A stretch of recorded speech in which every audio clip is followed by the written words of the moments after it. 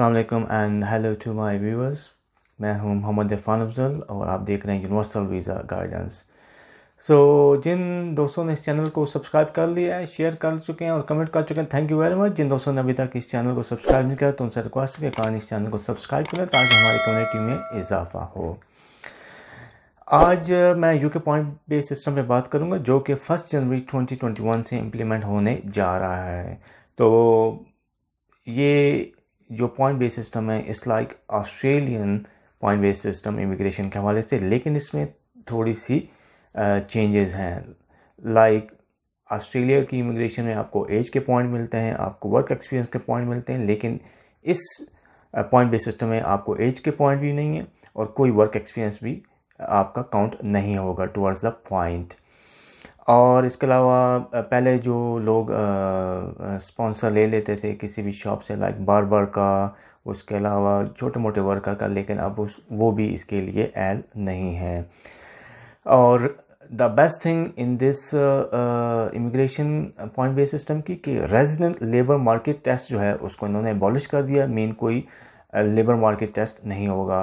Employ जो है बगैर एडवर्टीज़मेंट के अप्लाई कर सकता है। अपने एम्प्लॉय के लिए। इसके अलावा dependent still can travel with the main applicant और स्विचिंग कैटेगरी इज़ अलाउड है। पहले कैप था वर्कर्स का, जो कि था twenty one thousand per year worker लेकिन अब इस कैप को भी इन्होंने ख़त्म कर दिया है। मीन के एम्प्लॉयर जितने बुला सकता है, बुलाए, इन्होंने ओपन कर दिया इमिग्रेशन हर किसी के लिए। तो ये एक अच्छी न्यूज़ है। लेकिन इस पॉइंट बेस्ड सिस्टम को समझने के लिए आपको इस वीडियो को पूरा देखना पड़ेगा और मैं कोशिश करूँगा कि इसको ब्रीफली एक्सप्लेन करूँ।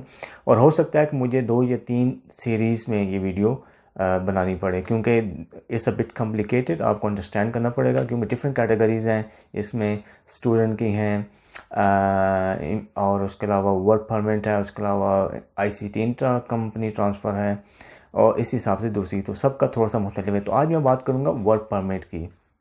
Work permit point based system तो इसके लिए दोस्तों आपको सेवेंटी पॉइंट आपने लेने हैं। सेवेंटी पॉइंट कैसे लेंगे? इसके लिए दो कैटेगरीज हैं। पहली जो कैटेगरी है वो है नॉन ट्रेडेबल पॉइंट्स इस सेक्शन से आपने पचास पॉइंट लेने हैं।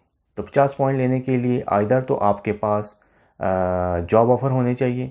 ठीक है ट्वेंटी पॉइंट पॉइंट्स होंगे। लेकिन जॉब ऑफ़र के लिए आपको ये चीज़ जहन में रखनी होगी कि जॉब ऑफ़र कौन कौन कर सकता है। वही कर सकता है, वही एम्प्लॉय कर सकता है जो कि गवर्नमेंट और होम ऑफ़िस की तरफ़ से अप्रूव्ड हो।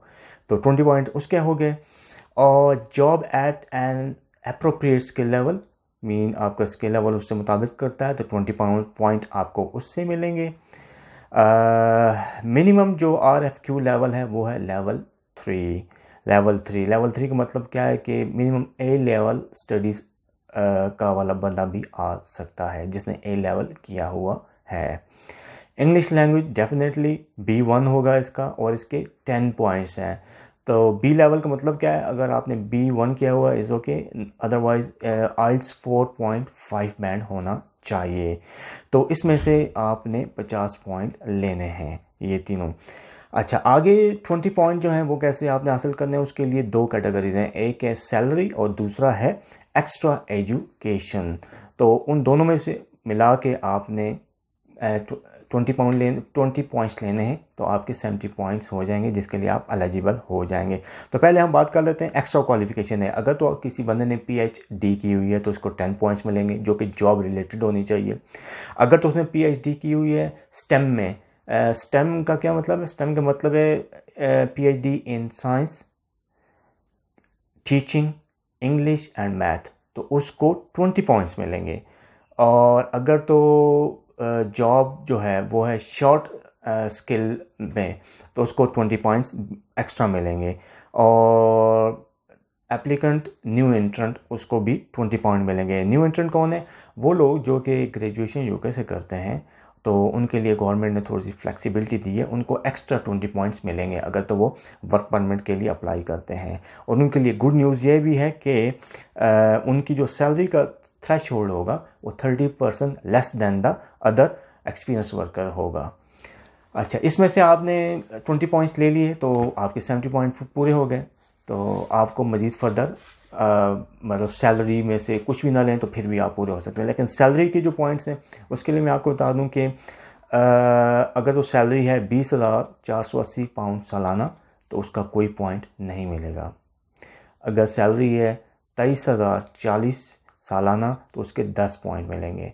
और अगर सैलरी है पच्चीस हज़ार छः सौ सालाना पाउंड तो उसको बीस पॉइंट मिलेंगे। तो आइधर पचास पॉइंट तो पहले आपने लेने ही लेने हैं ठीक है? और उसके अलावा ट्वेंटी पॉइंट आपने एजुकेशन एक्स्ट्रा एजु क्वालिफिकेशन या सैलरी से उठाने हैं। आ, लेकिन यहाँ आपको मैं एक इंपॉर्टेंट पॉइंट बताता चलूँ कि ये थोड़ा सा टेक्निकल है आपको समझना पड़ेगा कि एक इंजीनियर है अगर उसको कोई एम्प्लॉयर यहाँ ऑफ़र करता है सालाना तनख्वाह पच्चीस हज़ार छः सौ तो सैलरी के थ्रेश होल्ड के मुताबिक उसको ट्वेंटी पॉइंट मिलने चाहिए लेकिन उसको ज़ीरो पॉइंट मिलेगा। क्यों? उसकी जॉब्स के हिसाब से उसकी सैलरी तैंतीस हज़ार चार सौ होनी चाहिए। तो वो उसकी सैलरी के पॉइंट उसको नहीं मिलेंगे लेकिन वो ट्वेंटी ट्रेडर ट्रेडेबल पॉइंट ले सकता है तो उसके पॉइंट पूरे हो सकते हैं। आ, हर जॉब के लिए सैलरी थ्रेश होल्ड मुख्तलिफ़ है। इसके लिए आपको अंडरस्टैंड करना पड़ेगा कि गवर्नमेंट ने एक एस ओ सी मुतारफ़ कराया हुआ है। उसका लिंक मैं नीचे डिस्क्रिप्शन में मेंशन कर दूँगा तो काइंडली आप उस, उसमें देख लीजिएगा कि आप जिस जॉब के लिए अप्लाई कर रहे हैं, उसके लिए मिनिमम सैलरी कितनी होनी चाहिए।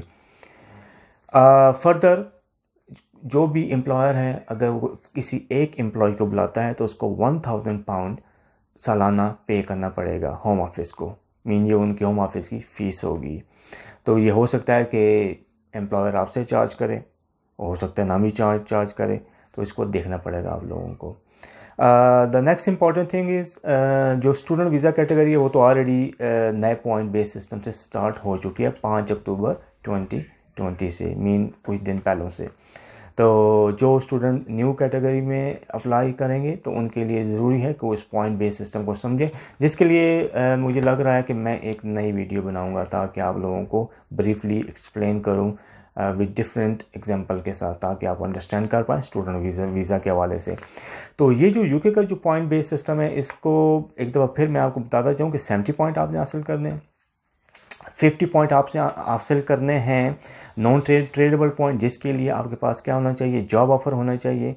उसके लिए आपकी इंग्लिश लैंग्वेज होनी चाहिए और जॉब का अप्रोप्रिएट स्किल लेवल होना चाहिए। मिनिमम लेवल होना चाहिए। R F Q level three ठीक है? तो R F Q level three क्या है? इसके लिए मैं नीचे डिस, डिस्क्रिप्शन में एक्सप्लेन कर दूँगा और आप वेबसाइट पे जाके देख लें कि आपकी जो जॉब है उसका लेवल क्या है। तो नॉर्मली जो भी एम्प्लॉयर है अगर वो अप्लाई करता है स्पॉन्सर लाइसेंस तो वो हंड्रेड परसेंट उसकी जॉब का जो लेवल है वो मिनिमम क्राइटेरिया को टच कर रहा होता है। अदरवाइज़ होम ऑफ़िस उसको देता ही नहीं है। तो मेरा ख्याल है इसमें ज़्यादा आपको वरीड होने की ज़रूरत नहीं है। तो जैसे कि मैंने आपको बताया सैलरी सैलरी से आप ट्वेंटी पॉइंट पॉइंट उठा सकते हैं या एक्स्ट्रा क्वालिफिकेशन से आप ट्वेंटी पॉइंट उठा सकते हैं। तो आपके सेम, आपने सेवेंटी पॉइंट्स पूरे करने हैं। तो सेवेंटी पॉइंट जैसे ही पूरे होंगे आपके तो आप एलिजिबल हैं वीज़ा अप्लाई करने के लिए।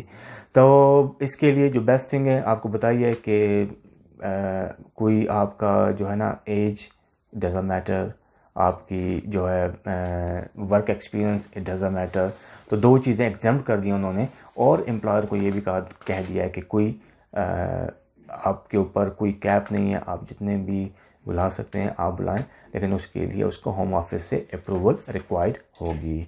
तो इसके अलावा जो भी अपडेट आएगी तो मैं आपसे शेयर करूँगा।